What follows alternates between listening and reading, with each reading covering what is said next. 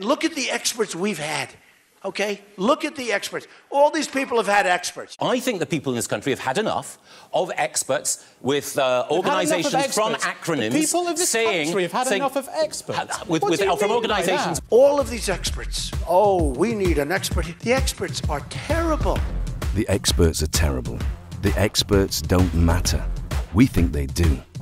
Without our experts, Leicester wouldn't be pioneering research to tackle hate and prejudice.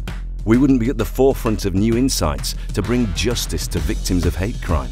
Without our experts, Leicester wouldn't be world leaders in diabetes research. We wouldn't be improving awareness and well-being, reducing the strain on public health services by helping to prevent the rise in type 2 diabetes. Without our experts, we wouldn't be supporting refugees, asylum seekers and communities displaced by the conflicts of war.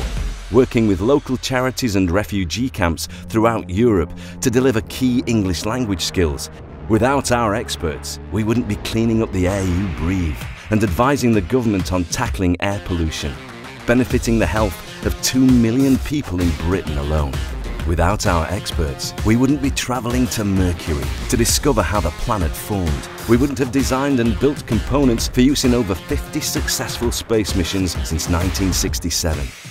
They said experts don't matter. We know they do. The University of Leicester has always attracted great minds.